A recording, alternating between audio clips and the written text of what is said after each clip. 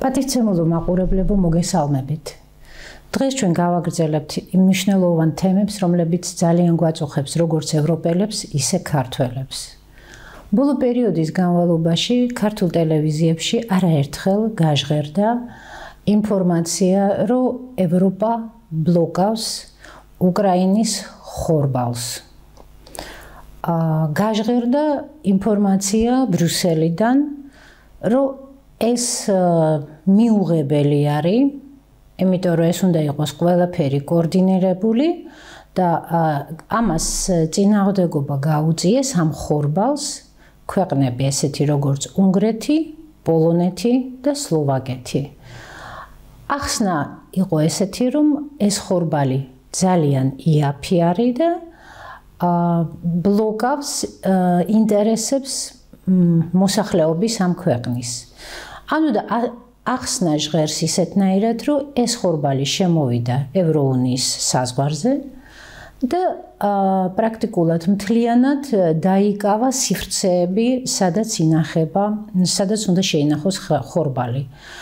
ამ ამ თვალსაზრისით რო გადავხედოთ, ეს ნიშნავს, რომ სულ რამოდენიმე თვეში ეს ქვეყნები ელოდებიან თავის მოსავალს და ეს ნიშნავს, რომ როცა ეს მოსავალი უნდა აიკრიფოს, აიღონეს მოსავალი, თავისი მოსავლისთვის შესანახი ადგილი აღარ იქნება. მეორე მომენტია, პრინციპში ხო ძალიან საინტერესო არის და ძალიან სასიამოვნოა, როცა დაბალი ფასები არის და პრინციპში მოსახლეობა უნდა იყოს გახარებული. მაგრამ ამ ვერსიით, რომელსაც ჩვენ ახლა განვიხილავთ, ეს ნიშნავს, რომ ესეთი მიდგომა, ანუ და აი ამ მოსავ ამ ქვეყნის მოსავალი მაშინ უნდა განადგურდეს. ეს პირდაპირ დარტყმა არის ეკონომიკაზე ამ ქვეყნების. ანუ და სოფლის მეურნეობაზე. მაგრამ რეალურად აბსოლუტურად სხვა მიზეზი უდგას ამ ხორბლის გაჩერებას და დაბლოკვას ამ ქვეყნების. აღმოჩნდა რომ ეს ხორბალი არის ძალიან საშიში ადამიანებისთვის. პირველ რიგში გაჟღერდა ის, რომ ეს ხორბალი საერთოდ არ უნდა შემოსულიყო ევროუნიაში, რომ ეს შემთხვევით მოხდა, რომ ეს ხორბალი უნდა წასულიყო სხვა ქვეყნებში, მაგრამ ომის გამო ეს გზები შეიცვალა და ეს ხორბალი აღმოჩნდა მაინც ამ ქვეყნებში, მაგრამ ნელ-ნელა ჩვენმა დეტექტიურმა ესე ვითარებამ გამოაცხადა რომ თურმე ეს ხორბალი დაუშვეს ევროპაში მაგრამ ამ ქვეყნებმა როცა ჩაატარეს შემოწმება აღმოჩნდა რომ ძალიან დიდი რაოდენობით პესტიციდები შეიცავს კონცეროგენებს და ძალიან ბევრი არის გემეოს სახით, ანუ და მოდიფიცირებული.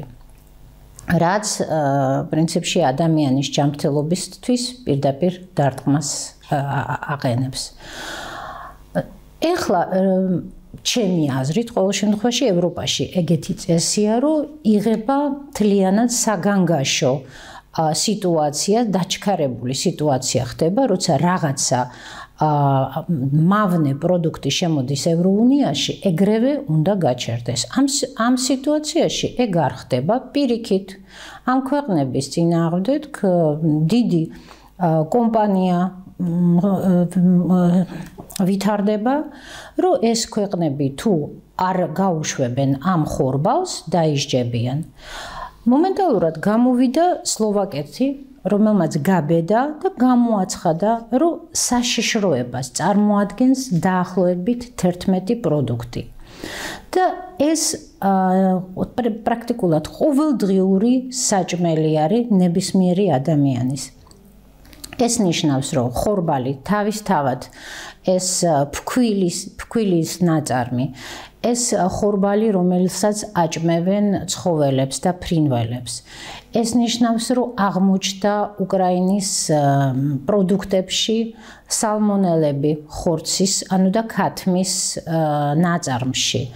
აღმოჩნდა რომ სალმონელები აღმოაჩინეს ხალვაში და ეს მარტო დაახლოებით ბოლო თვეებში და ეს რომელი ქვეყნები არის ლოდიშსკოში განადგურდა მთლიანად პარტია ვერმიშელების რომლებიც აღმოჩნდა აბსოლუტურად მიუღებელი საჭმლისთვის. პოლონეთში აღმოჩნდა სალმონელები ქათმის ხორცში. გერმანიამ და ფინეთმა სასწრაფოდ აგრძალა სალმონელების გამო ხალვა თხილი, რომელშიც აღმოჩნდა კონცეროგენული ობი და სხვა კიდე სხვა პროდუქტები, ну ფქვილზე უკვე აღარ ვიძახი. აა სხვათა შორის უკრაინა თვითონ აღიარებს, რომ ომის გამო გაუჭirdათ ძალიან და ეს სისუფთავეს, ანუ და ჰიგიენის მომენტები ბევრ ადგილას დაირღვა და ამის გამო ხდება ეს დიდი რაოდენობა სალმონელების. რაც კიდე ერთი ნიშნულოვანი პროდუქტი არის ყველასთვის, ეს არის ზეთი. სემიჩკი სემიჩკის ზეთი, რომელიც შემოდის ყველა ქვეყნებში. ესაც აღმოჩნდა მოძამლული, ეგრე ვთქვათ. ა დააბრუნა პოლონეთმა ესევე ბარდა, რომელშიც აღმოჩნდა კადმიუმი. სლოვაკეთი მოძამლული ხორბალი. ანუ და 11 პროდუქტის სახეობა რომელიც აიგრძალა ევროპაში არა, ჯერჯერობით განხილვაში არის. მე უბრალოდ მიკვირს, რომ როგორ შეიძლება რომ ეს პროდუქტი შედიოდეს საერთოდ არ არ მოწმდებოდეს ამ ქვეყნებში, ანუ და სულ ეს განგაში უნგრეთს და პოლონეთს და სლოვაკეთს რო არ არაეტეხათ, ესე იგი ეს პროდუქტი ჩვეულებრივად შემოდიოდა.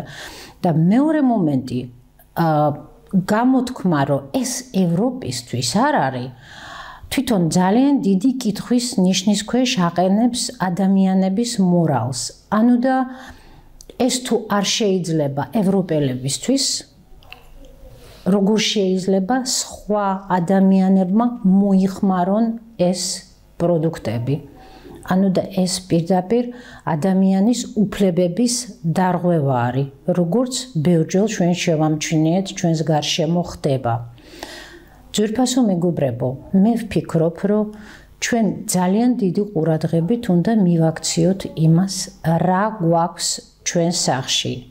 რას ვაჭმევთ ჩვენ შვილებს, რა პროდუქტები შემოდის მე იმედი მაქვს რომ ჩვენი სახელმწიფო ამოწმებს ამ ყველა პროდუქტებს და ჩვენთან რაც შემოდის ნამდვილად მისაღები არის ჩვენი მოსახლეობისთვის.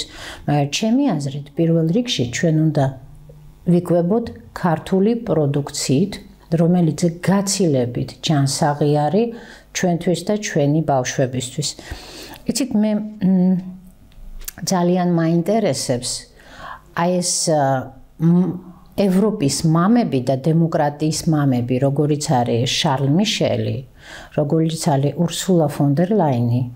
აი დილაობით ალბათ მიირთმევენ კრუასანებს აი ამ ხორბლისგან დამატებული ფქვილში ამ ტარაკნებით და შუადღეს რა თქმა უნდა მიირთმევენ ხორცს, რომელშიც არის სალმონელები. ალბათ ძალიან სასიამოვნო კვება არის.